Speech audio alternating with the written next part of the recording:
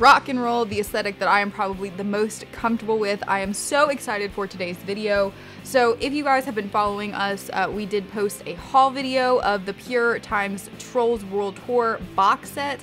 I bought that on Memorial Day. They were doing 35% off if you spent over $100. So for the box set, which retails at $98, I spent around 62 for it. In that, it included five eyeshadow palettes, uh, mini eyeshadow palettes. They are smaller. I'll show you guys the one that we'll be using today. It is this little man right here and it does come with six colors. So they are definitely smaller eyeshadow palettes, but still I think they retail full price at like $18 a piece. Um, on sale, I've seen them at like 12 um, and then you get a face palette with a highlighter, a blush, and a bronzer, and you get a lip gloss as well. Plus it comes in this really cute package record type box. Uh, lots of plastic, yes, but uh, I plan on saving mine so I can kind of look past that because it won't end up in a landfill. But uh, yeah, I'm really excited. Uh, basically what we've decided to do with that box set is test each one of the eyeshadow palettes and make a whole theme out of it, including an outfit, a full aesthetic, everything um, that I would personally wear if I were dressing for this particular type of music. Some of them will be more challenging. This one today was probably the easiest because uh, if I had to choose an aesthetic that fit me the best, uh, rock would be that one. So uh, obviously by the name of our channel, Dark Angel Beauty, you probably picked that up. Uh, I am excited about the, uh, the World Tour rock palette. That is what the front of it looks like. Inside, they're actually colors that I wouldn't normally gravitate towards as much as I love dark things. I normally go for like more reds, pinks, purples in terms of eyeshadow, but I really love this palette, probably because it does give you a really nice matte red shade along with the black shade, and then you get those gorgeous gunmetal silver and lighter silver sh shimmer shades, and I just, I think there's a lot of potential of a really cool eye look for this. I will be using the bronzer again. I used, yesterday's uh, video was the pop look, I used all three in the pop look because uh, the pop was pink based, so the pink uh, blush worked well with it. The highlighter is a lighter shade, which is probably pretty neutral, but I do want to do a different highlighter today. I was shocked that I liked the bronzer as much as I did. It does have shimmer in it. I don't normally choose that because I use it as contour instead of bronzing, but I liked it enough to, to go ahead and say I was going to use it again today. So that's the only one I will be using in this video. I did pick out another blush shade and another highlighter shade. So I'm going to do uh, all of those really quickly. I will show you guys the bronzer and then I'll probably turn off the camera and just do the other stuff uh, off, off screen. I'm going to go ahead and do my bronzer really quick just to, uh, to show you guys what that looks like. So that's what it looks like without any blending or anything. I really think it's a really beautiful, kind of universal color. Um, it's definitely, I say universal, it's definitely a lighter shade. Don't know how it would work on darker complexions, but I think it does uh, a good job for somebody who's light skinned like me to be able to go in and contour with it. And then if you're using it as bronzer, I'm sure you can get some decent color out of it. Um, but I was very surprised. I really wasn't expecting to like it as much as I did. So I, that was that was a nice, pleasant surprise. Now I am going to do more of a, a harder look for uh, everything else. I'm to do this kind of dark purple blush. I'm to do probably a mix of this purple and I'm thinking this kind of peachy pink color uh, for my highlighter. So I'm to do that off camera and then I will show you guys the finished face product and then we will jump into uh, the eyeshadow Okay, so I went ahead and finished up my face. I did choose a very pigmented uh, highlighter, if you guys can see on my nose. Hopefully it's pretty reflective. I can see it in the camera, so I'm assuming it's gonna show up on film. Uh, but I wanted to do that. I, for whatever reason, I just love like to make like grunge metal looks really shimmery and I don't know why. It's just me, sorry. But anyways, that's why I chose that. Now, what I did with the pop palette was I kind of gave you guys a breakdown of what my game plan was. So let's do the same thing with this one because I'm all about continuity. We've got these really six beautiful colors. I am thinking what's gonna happen is I'm gonna go in with a really wide base of this one followed by a little bit of a tighter but still wide base with the red uh, the outer corner is going to be done with black. We're going to use gunmetal in the center of the eyelid. We're going to use this probably on the edges not quite the inner quarter because I think I can use all of the colors and use this white shimmer as the inner corner and then um, the brow highlight. So let's jump into it.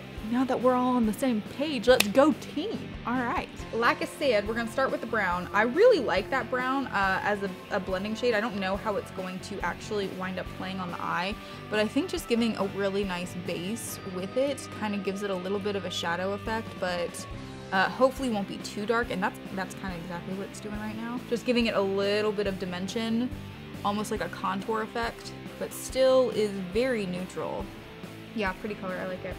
I came in a little bit heavy around this area, but that's, I don't mind it, just as long as I can do it on the other eye too, because that's always my biggest thing is like, all right, I can live with that on this eye, and then on the other eye it'll be like completely neutral, and I'll be like, looking good. I like it. It, like I said, it, I don't know how well it's playing on camera. I can see it in my mirror, but it is very neutral. It's not very abrasive. Kind of exactly what I was hoping would happen with this color. So we're gonna go in with the red now. The red is mainly matte, but it does have just like a touch of glimmer in it in the light. But I think it's going to make a really nice kind of like wide blending shade just to kind of go in with that brown. Oh yeah, the brown did a really great job of neutralizing it, so it's not really harsh red, but it gives you that little bit of like berry color. I really like that. That is one of my favorite things about Pur as a company is I really, I've said this in probably all of the videos I've done with them, I really feel like they do a great job of making buildable shades. Buildable shades is incredibly important for me, and especially somebody who's not quite comfortable with makeup, it just makes it a lot easier to blend it out. So that's why I always um, talk about how much I love Pur, because when, when I was first getting into makeup and stuff like that, was less comfortable with it, they were always super easy to work with. There there's something to be said for that. That means it's a good formula in my opinion. You ever think like the the preliminary makeup was like people smashing berries and rubbing it on their faces? Do you ever just like think about that sometimes? But the camera's not gonna answer. Does the camera answer you, Nikki?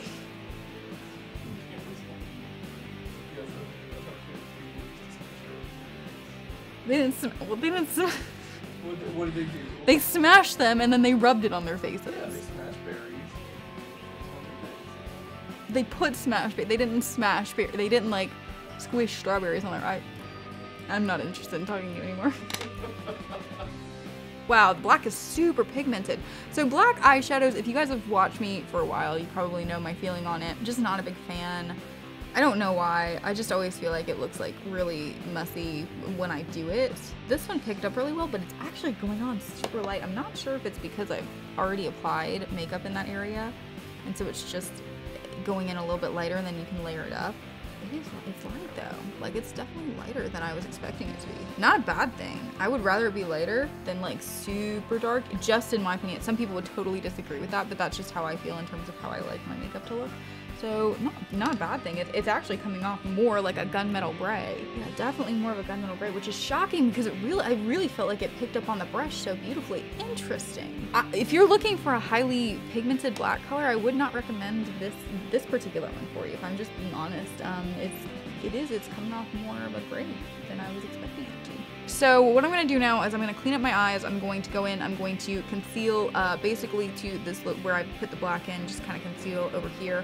That way the gunmetal shade hopefully really pops. I did not do that yesterday with the pink palette and I regretted it. So we're to do it today. Um, and then we're to do uh, all of our highlights and everything on camera so you guys can see that. So we'll be right back. Okay, so I did go ahead and clean it up, kind of exaggerated a little bit. I did blend it out a little bit with my face brush, like what I'm doing right now. Never too much blending in my opinion. So we've got this, uh, this kind of base right now. We're gonna go in with the glitter shades. And I'm gonna start with the gunmetal. I'm gonna use a brush because I think that that's going to work better than using my finger, but I may readjust if I find that it's not picking up as well as I was hoping it would. Um, but I'm gonna go in with a tight brush and I'm just gonna get a little bit of the gunmetal, which seemed to pick up really nicely if you guys can see that hopefully. And I'm just gonna I was like not even slightly expecting that, but holy crap. Wow, okay. Oh, I had such high hopes for that color and it just absolutely blew them away. Like I am so excited about this one. This is gonna definitely be. So part of part of what I said yesterday at the end of the first video was that I want to rank the palettes because you can buy them separately. So I want to give you guys an idea of which ones I think are best.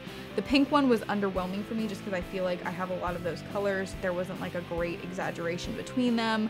It was still a good palette. If you don't have a lot of pink palettes, it might be something that you would look into getting. But like, oh my god. Okay, this one's definitely ahead of this one. If nothing but for this gunmetal shade. It is just absolutely beautiful.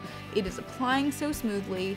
I'm barely having to like press down on the palette to pick it up. There is fallout on the palette, I'm not gonna lie about that. Um, there has been a good amount of fallout on so far all the palettes I've used, but it's really like, like I hope you guys can see just how absolutely devastatingly beautifully pigmented it is. All right, I'm gonna blend it out just a touch. Okay, I'm gonna go in now with that lighter gray shade. I think that's going to play really nicely kind of in here. And then I think on the, the under and the inner corner down here, I'm going to do uh, that pink shade and do that up top too. And then we're gonna see how it looks with mascara on. Um, I really like this palette. I really like it. It would not be the one that I would buy separately if I if I hadn't bought the bundle set, just to be honest, because I really don't go for the, the black shades and all of that. With this palette, I say black shades. It's because there's one of six shades black. So that's why I kind of go, oh, well, that's not really my style. Oh, Oh my gosh, do you guys see, like, I hope you can see just how absolutely beautiful the glitter is, is applying. It's so nice. The two gray shades really play well with each other. Wow, I really, I'm, I'm so, I'm so excited about this. Okay, I keep getting distracted by how, how pretty the, shed, the shades are. I really do, I, I apologize for that. This is that last light shade now. It's also gorgeous. It's more of a champagne, but still has like silver reflectiveness in it and you can see it throwing things. There is a touch of fallout on my cheeks. I can I just saw that, but not like an overwhelming amount. All right, so this is pre-mascara. I'm gonna go off camera, do mascara, and then we're gonna come back and see it. I love it. I'm, I'm very excited with how this eye look turned out. I'm so excited. Uh, I was not expecting to love it as much as I do, but I really do. I really like, I really like this palette. Okay, let me do some mascara. Let's see how it looks. Alright, so this is the final look. I love it. I am much happier with how today's look turned out than yesterday's look. I didn't hate yesterday's look, I just was kind of underwhelmed with it. I really like this palette. In the ranking system, we've got three more to do eyeshadow palette wise, but I'm gonna have to rank so far Rock at first and Pop at second. We'll see how the other ones fall in line. It's like March Madness, but with the eyeshadow palettes, so like get your brackets ready y'all. But yeah i really like it. I'm i'm very excited about this I uh, eye look and i think that there's a lot more you can do with it. I mean obviously you don't have to use every color in it. I think there's a lot you can do just using the red and the grays or the black and the grays or any combination of the six colors that you have here. So I hope you guys enjoyed the video. I hope it gave you guys a good idea of uh, this little palette. Obviously with only six colors, then it does make it a little bit steeper in terms of price point when you're looking at buying a palette. I typically try and type just happened there. I typically try to go for palettes that are at least 12 shades, but I think it's well worth it um, for this, this little guy at least. So if you guys did enjoy the video, please give it a thumbs up. If you haven't subscribed to the channel yet, please consider doing that. Like I said, we are going to be posting these videos for the rest of the week. Uh, we have the, the unboxing of it, and then we've got the pop one already up. This is the second one. We've got three more to go. So definitely join the Dark Angel family so that way you can see the entire series. And other than that, I hope you guys all uh, have a wonderful day and stay girly with a dark twist.